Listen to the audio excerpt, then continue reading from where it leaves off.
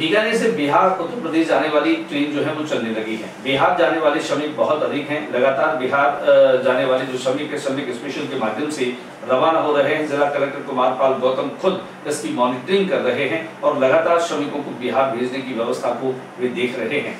आज भी बिहार आने वाले तमाम श्रमिकों को इस श्रमिक स्पेशल के माध्यम से भिजवाया गया। दिखाते हैं आपको रेलवे स्टेशन का वो नज़ारा, जहाँ पर ये तमाम श्रमिक जो है वो अपने अपने घरों की ओर इस के ज़रिए रवाना हुए।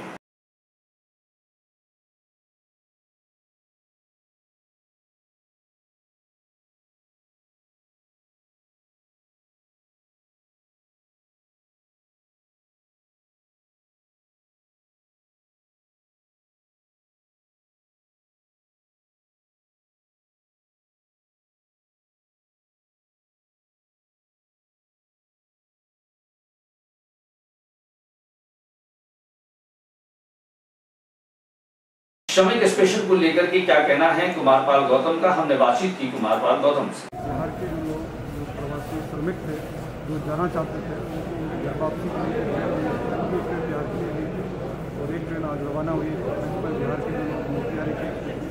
ज़्यादा संख्या में वहाँ तक क्या व्यवस्था है सर? क्या कुछ है? देखिए ट्रेन में सारी व्यवस्थाएँ की है। सभी लोग जो है सोशल डिस्टेंसिंग के साथ है।